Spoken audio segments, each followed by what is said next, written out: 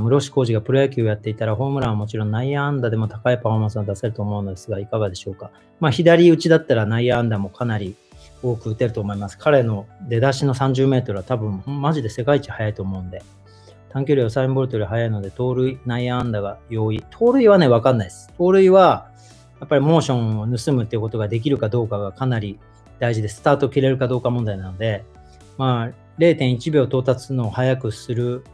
スピードを手に入れることもできるし、0.1秒スタート速くすれば、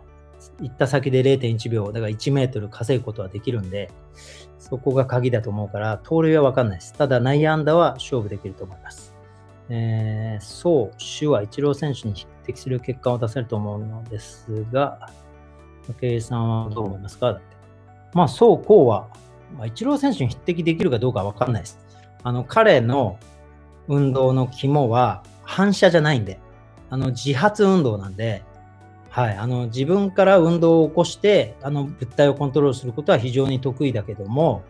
反射した時にあの正しい動作ができるかっていう能力はまた別の分野なのでバッティングに関してはちょっと分かんないです。あの伸びるかどうか。ただホームランを打てとかっていう、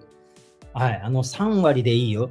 ね。あの10回やったら3回でいいよとかっていうしかもその3回をボールの半分よりちょっと下にバット入れて、叩いてねっていう、3ストライクまでの間にっていうことを彼にテーマとして与えたら、多分猛烈な勢いでその能力を伸ばし続けると思うんで、